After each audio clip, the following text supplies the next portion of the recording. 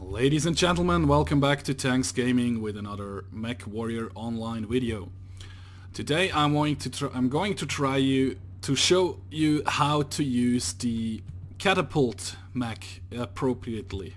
Uh, if you use if you uh, if you use the trial version of it, uh, which just is armed with rockets.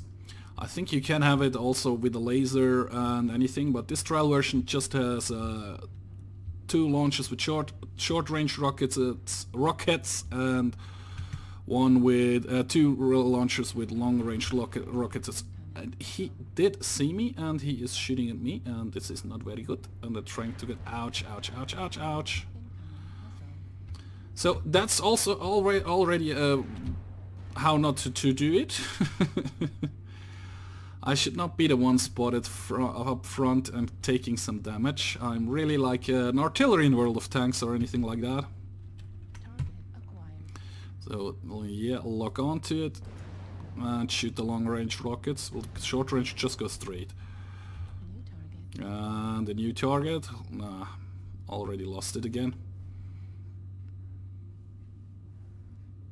You need, you kinda need good scouts for that guys, because Without scouts you are not able to lock onto your target. Like this one over there. If he would be spotted that would be nice. And you see the rockets take quite an arc, they go quite far. He should stay spotted. You saw his red reticle there with with uh, my name uh, with the rockets around it. Ah, he just disappeared in too too quick again. He is gone. Try to mark him again. 600 meters, quite far out. You see the little rockets uh, on the top right, left corner of the of his his name when I, when he is tagged like this. It's meaning rockets are incoming to him. That went bad. I just used some rockets for nothing. Again. It just disappeared, the lock just disappeared the second I hit the, the launch button. Okay, cool. Uh, did I got the kill? No, I did not.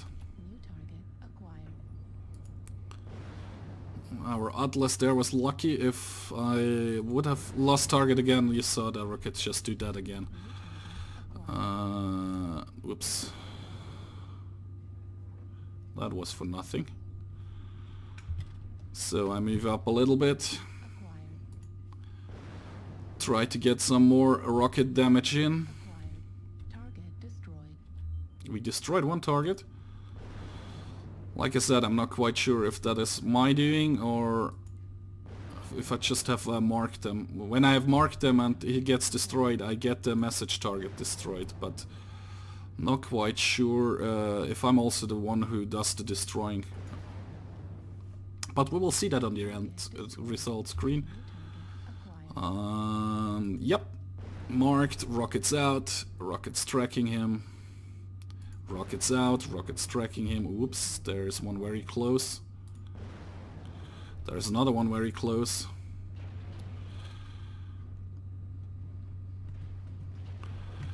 I'm getting outflanked. Uh, boy, where did you come from?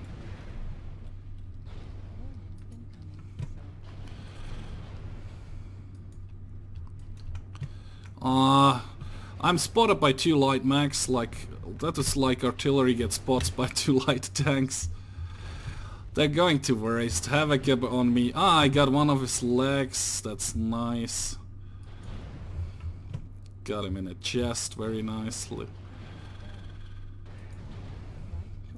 Destroyed part of him. I'm just going to go try to get this rid of this one here. Even though...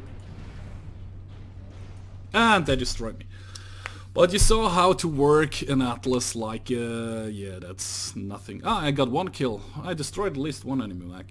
But you saw how to use it sort of like artillery in World of Tanks or in Armored Warfare. You just stay back and use your rockets Unfortunately I got spotted and outflanked because I wasn't paying enough attention to the map.